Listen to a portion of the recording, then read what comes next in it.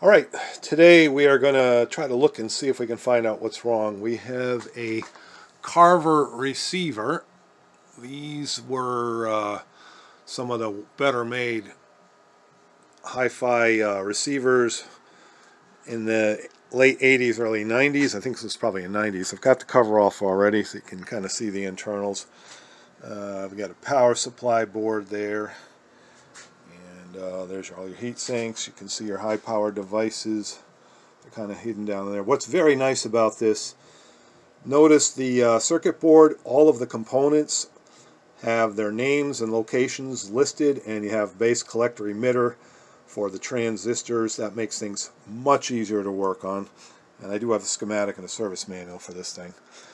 And there's another circuit board over here. It's probably some parts of the tuner, and there's another one underneath there, preamp stuff. So the customer is saying that it works in mono, but not stereo, and there's also a ground hum.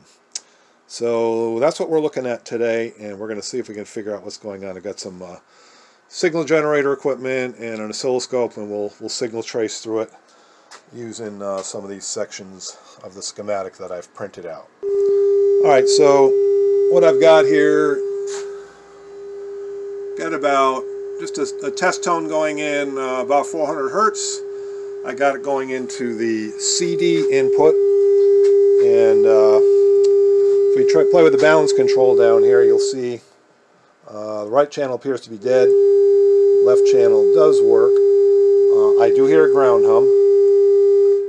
Don't hear anything out of the right though. Uh, but if I uh, take this mono switch,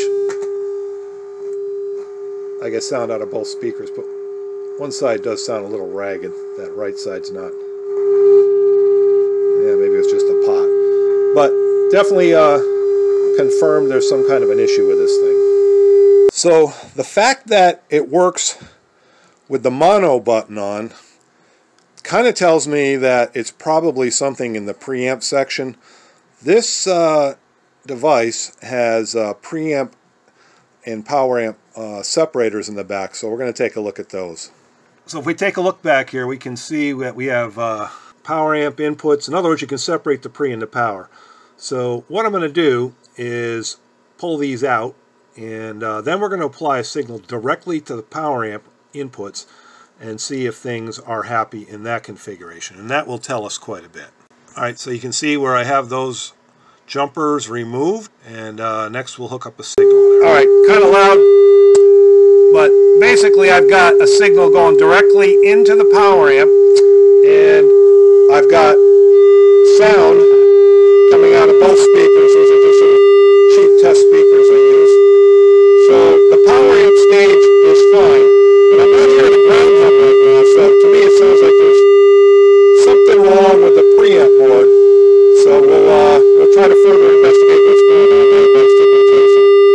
So I've reinstalled the uh, connections between uh, pre and power amp, and then I've got my uh, signal going back into the, the CD. Okay, so we got this thing uh, back into its uh, configuration when we started and the problem does indeed uh, remain. So what we're going to do is we're going to take a look at the schematic for the uh, input section. Alrighty, so I have got the block diagram open. Where the hell's the mouse? So where we're looking at right now, I was coming in through the CD and then we got this switch function device and you can see the section, here's where the pre and main break out. So we know the problem from, from this point on forward works. So the issue's got to be back in here somewhere. So we're going to, uh, this is just a high-level block diagram. We're going to try to find out a little more about this thing here. And uh, then we'll move on. So I'll go to the sheet that has that detail. While we're in this area, you can see the specifications. Uh, this is supposed to put out 90 watts per channel. Uh, we'll verify that later on when we get back down there and uh, see what it can do. And that's into, what, 8 ohms.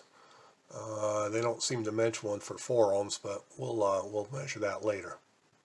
Alright, so on the schematic, you can see that is IC802, and you can see where we come in here, goes into that. So that's basically a selector device, electronically controlled. Uh, they have their advantages and disadvantages. Big disadvantage is uh, when the part craps out and it goes obsolete, then you got to modify this whole unit. But we're going to find out. So I can look up what that thing is. What does it say there? TC950, 9152P. Uh, we're going to go look that up on the internet and uh, see what the heck that thing is. Okay, as I kind of expected, it's basically an analog switch, uh, electronically controlled. There's the pinout. All right, from reading this data sheet, see that COM A, pin 11, and COM B, pin 13.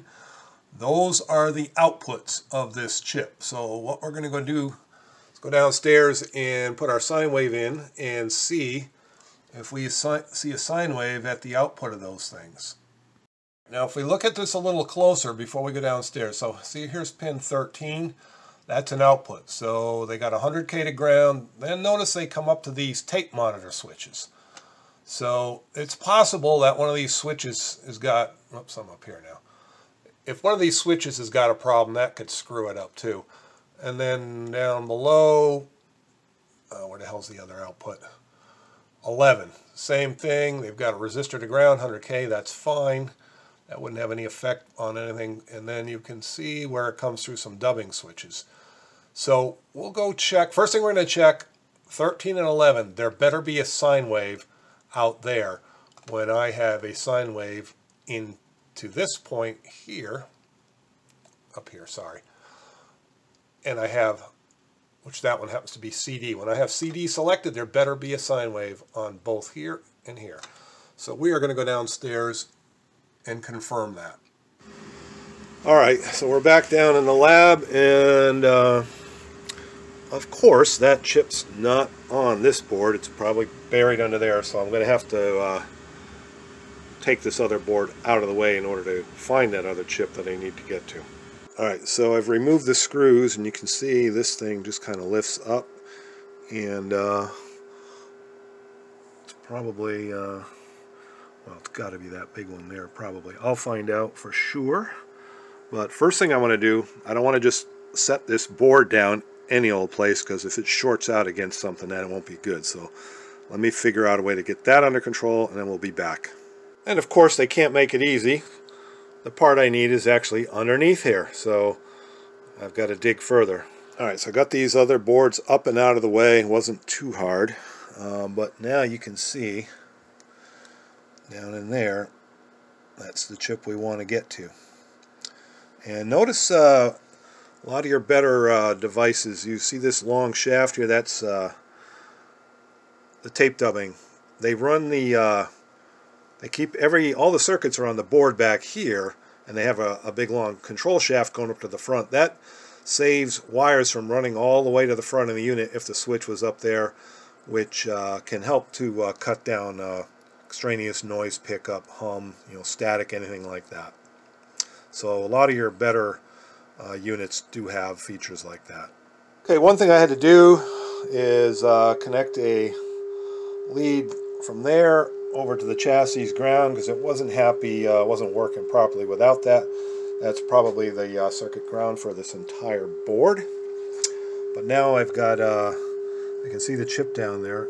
And if you're not familiar with these chips, that dimple that you can barely see on the left end, that indicates uh, where the pins start. So I need something small to point with. Pin 1 would be that first one right on the end there. So we got to go up to 11 and 13. Um, in the meantime, I've got a uh, an oscilloscope here which we will look for a sine wave. So uh, let me get things in place and we'll show you that. All right, right there, that is the sine wave that I'm applying to the unit just to uh, just got the scale set up. So that's what, what we're putting into the uh, CD input jack. Okay, over here, very hard to see, but I've got the oscilloscope probe on pin number 11 of that chip, which is the common output, and there is indeed a nice looking sine wave there. So that's a good sign. Uh, now we're going to check pin 13. Okay, now I'm on pin 13, which you can see right down there. It's hard to see, but it's there. And sure enough, we got a sine wave. So that's a really good sign. That means that that IC is probably fine. Uh, so knowing that, we'll move on to where the signal goes next. Just as a side note, this uh, you can see on the back of the unit here, these are all your audio inputs and dubbing and all that kind of stuff.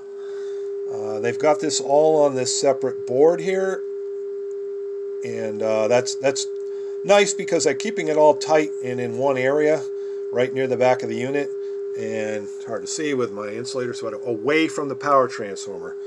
Uh, you want to keep all as much as you can away from uh, things that can generate hum and noise, and transformers uh, tend to do that. All right, so we're back up here at the schematic. So we know that uh, pin 13 and 11 have signal. So if you follow this, you'll see it goes up into a tape monitor switch. And if we have that in the off position, then it goes through there. And you will see that it goes up off of this board. And this is the other side of. So here are the two channels going off the board, uh, F205 and F206. So next thing I'm going to do is uh, go downstairs and take a look and see if those sine waves are present at that point. And before we go downstairs, just to save a couple of trips, we see where these come out here, F205 and 206, and they go up here, and here's V206 and V205. So now we're going into uh, a preamp board. So we can look at 205 and 206 up here and see if those signals are present at those points. And uh, that will be a, a, good indicator of what's going on. So we're going to go do that right now. Okay, remember F205 and 206. Camera down in there. There they are. Now, an interesting thing, when I was down here, before I put the camera on, just locating these things, I wiggled this wire, and the channel that was out is now working. So I'm wondering if there's a bad connection in there. So uh, that very well could be. Well, we'll take a look at the signal. It's definitely there now. Uh, I can hear it on the speaker, so almost don't even have to look with the scope, trying to get focus. One thing I noticed that signal, the white one, left channel, F205, was, uh, was kind of tight. There's some tension on that wire, so that could very well be a problem. And uh, I'm not hearing a ground hum anymore either. Correction.